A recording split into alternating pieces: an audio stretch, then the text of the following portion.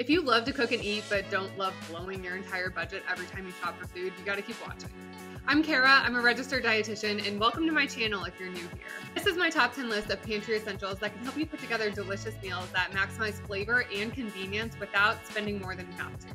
All right, the first one is cooking oil. And I know some of us are kind of still recovering from that whole no fat, low fat phase of diet culture, but trust me, having some fat in your meals is a good thing.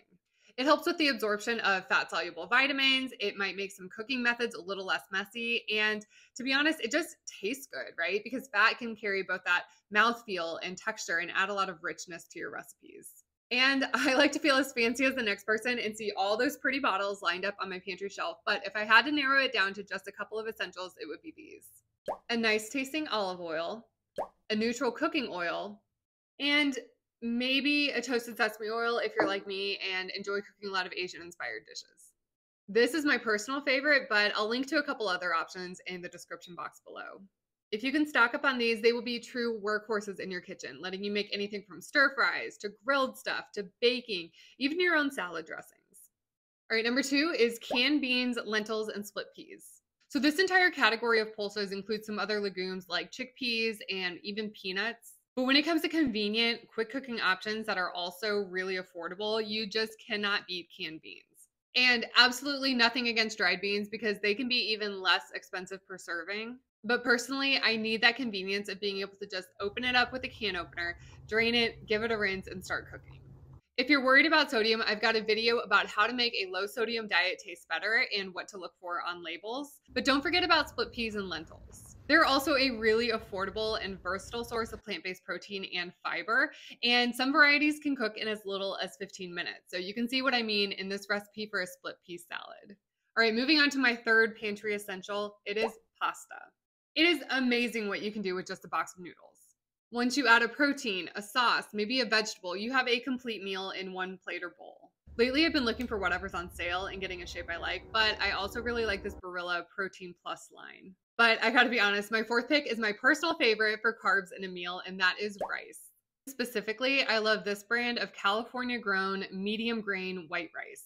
And we eat so much of it, I buy it 15 pounds at a time. It's actually pretty economical because I think per ounce that ends up being like 11 cents or, you know, just something ridiculously low.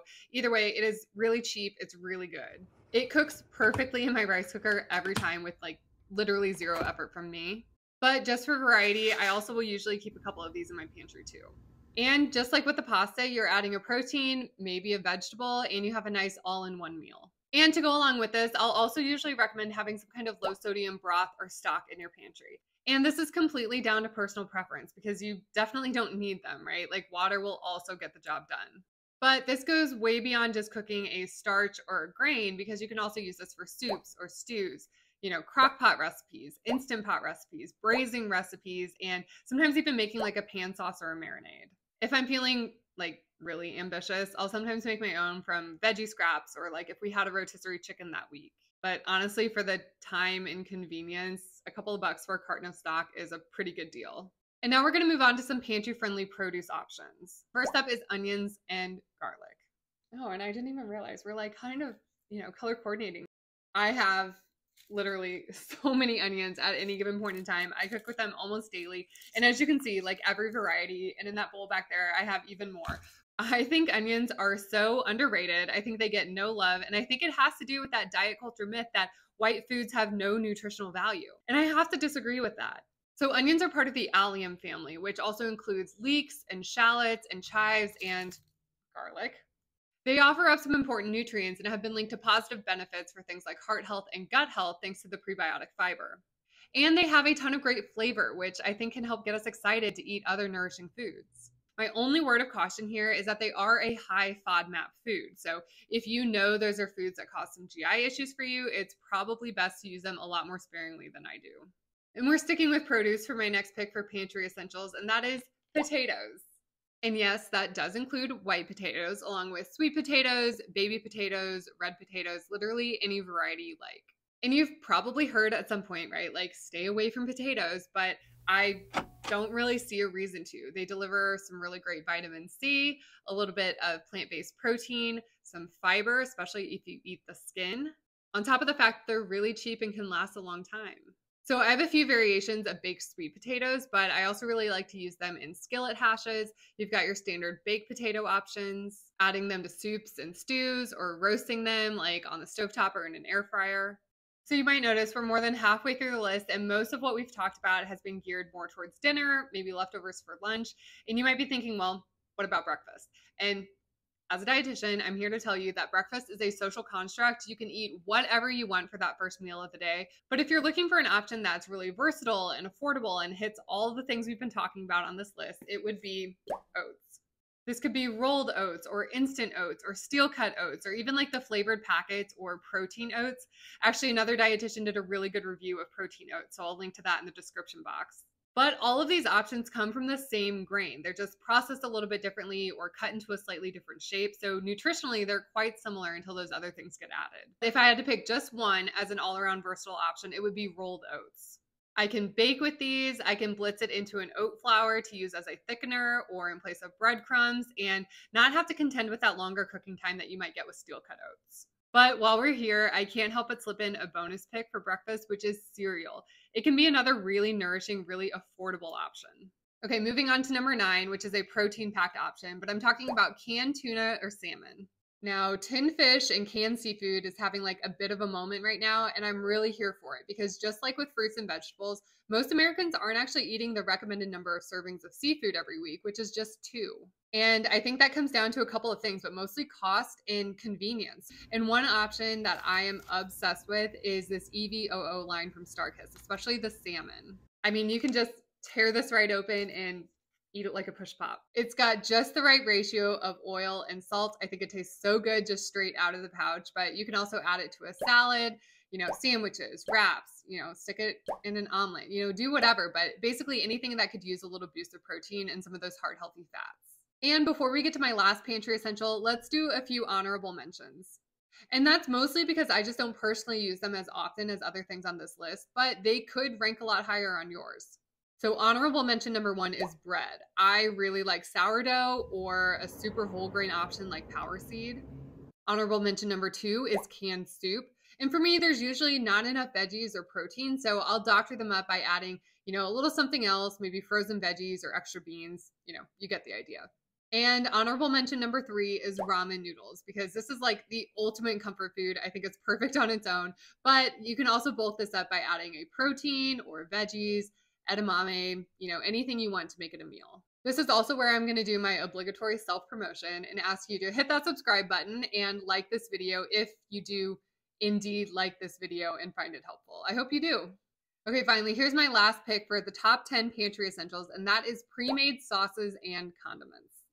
And I know you might be thinking, well, that's just way too processed. Why is she recommending that? And it's because everything is and we have got to find ways to make home cooked food taste good enough that we actually want to cook and eat it. But these pre made sauces can be a lifesaver when you're short on time. Like, if you happen to have time to make a sauce from scratch, that is great. Go ahead and do that. But if you're in a jam, sometimes you just need something that's quick and easy to avoid, you know, eating out or doing takeout or worst of all, like not eating anything at all. A couple of quick shout outs to Omsom, which is a woman owned, Asian owned brand. They're also very pro MSG, which I love. These are sauce starters that come from different East Asian and Southeast Asian cuisines. So delicious and so easy to add to a stir fry. And also Rao's. This is my partner's favorite. And to me, it's honestly kind of a splurge because you can definitely find less expensive sauces in that same area of the grocery store. But he really likes the flavor. I don't have to doctor it up to get it to taste the way I want. And this jar is big enough we can make multiple meals out of a single purchase. So there you have it. Those are my top 10 picks for essential pantry ingredients. And of course, this doesn't represent everything we're buying or keeping in the pantry, but I buy them consistently enough that I just sort of rely on muscle memory whenever I'm shopping. And I don't think I've said it yet, so I'll say it here, but this is just my list. Like this is just a reflection of the way that we cook and eat at home. And that could look really different from the way you're doing things. So as you start to make your own list, I really want to encourage you to think about your individual needs and preferences. They might look really different than mine. I would also really recommend fighting the urge to label any of this as junk or ultra processed foods because yeah, I mean, some of this is going to meet the criteria for an ultra processed food according to some classification systems, but that doesn't mean you need to avoid it. In my opinion, that's just not the most helpful way to think about food because it's pretty judgmental, right? Like it lines up with diet culture, but there's also a huge spectrum of processing. Processing can make food less expensive or more shelf stable or more convenient and faster to prepare. And in some cases, like with enrichment and fortification, it's even adding nutrition. So I'll just leave you with this gentle reminder that there is no right or wrong way to take care of yourself when you're aiming to eat enough for your body. Your pantry does not need to look like these picture perfect restocks that you might see on social media. It could be a mess of different boxes and packages and bags of processed food, and you can still make great tasting and nourishing meals at home. So if you're still watching, leave me a comment and let me know what you consider a pantry essential. If your list looks different than mine, or if you think I missed something, let me know in a comment.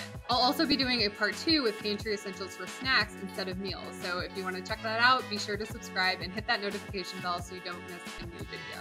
As always, thank you so much for watching and cheers to more fearlessly nourishing meals.